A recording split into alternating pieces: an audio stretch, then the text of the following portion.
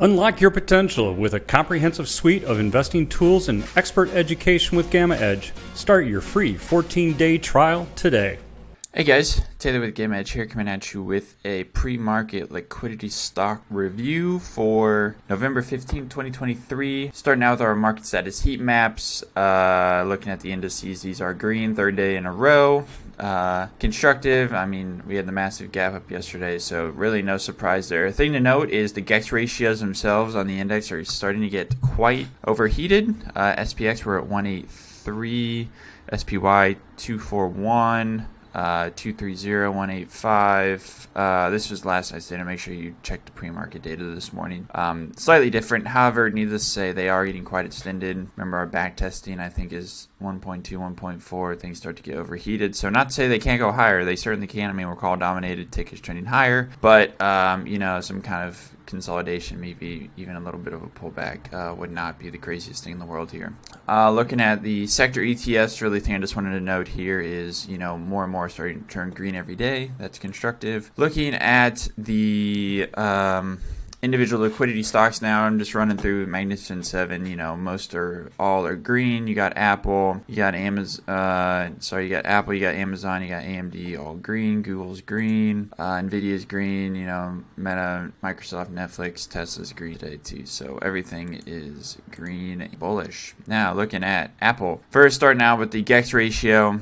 Uh, what are we at? We're at 191, so you know, uh, towards the upper third of the range, I would say, for the last half year, so something to be cognizant of there. Looking at structure itself, 190 plus GEX, um, calls dominate above and below spot price, so all looks constructive. Looking at this week's expiration, 190 is uh, plus Gex. Moving on to next week, 190s plus Gex again. So yeah, all in all, I mean, 190 is kind of a sticking point here. No surprise here given the move that we have had. Looking at Tesla, Tesla again, Gex ratio kind of more in the middle of the range. So Tesla has been a laggard relative to the other Magnificent Seven stocks. So maybe there that that is the reason why. So something to be cognizant of there. Uh, here we're just uh, about to exit transition zone. 250 is plus Gex and COI. Um, looking at this week's expiration. So plus Gex actually dropped to 240. Um, 240 there, 250 starting to build out when you incorporate next week. So yeah, something to be cognizant of there. Uh, let me see, calls will dominate above and below spot price. So yeah, I get some kind of upward maybe a target. Next, moving on to Microsoft. Microsoft as well It's extended. I mean, this stock has been leading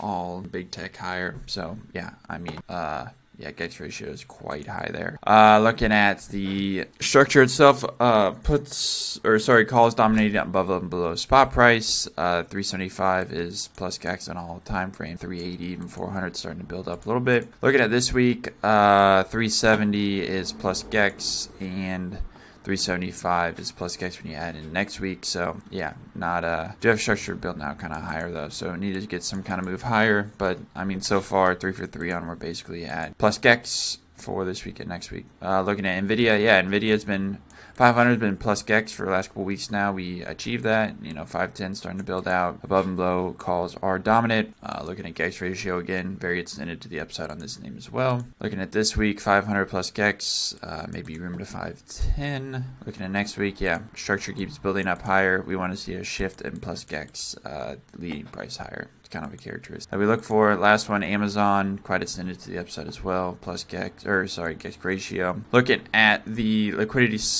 or sorry, the, the structure, we've been saying, you know, since last week, Amazon was an attractive looking one, just relative from the distance of when spot price was near transition up to plus GEX, which is between 145 and 150, you know, getting close to 150 now. Uh, 150 plus GEX here on this week's expiration, including next week. Uh, that doesn't really change. 150 is still solid. So, yeah, with that, uh, overall theme, I would say, is things are certainly constructive to the upside. However, you know, GEX ratios are quite high to the upside. We are near or at or relatively in the vicinity of plus GEX for many of the names. So, um, I mean, just look at the run that we've had recently been heck of a run so making sure you're not getting too far out of your your your ski tips higher so with that best luck today talk to you later bye